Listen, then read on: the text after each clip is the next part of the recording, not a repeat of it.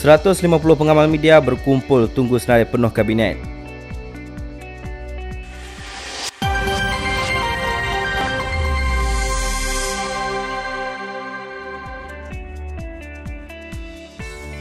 Lebih 150 pengamal media berada di Putra Perdana semalam bagi membuat liputan mengenai pengumuman jemaah menteri yang baru.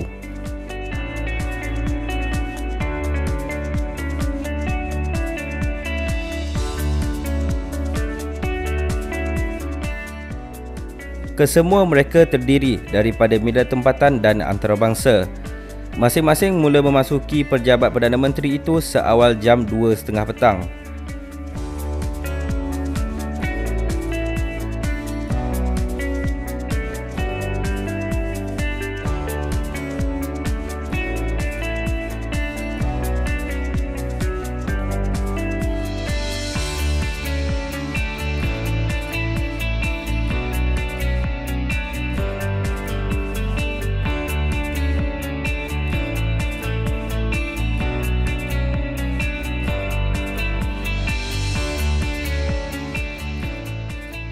Tepat jam 5 petang, Perdana Menteri Tan Sri Muhyiddin Yassin mengumumkan senarai penuh jemaah menteri dan timbalan menteri di bawah pentadbirannya.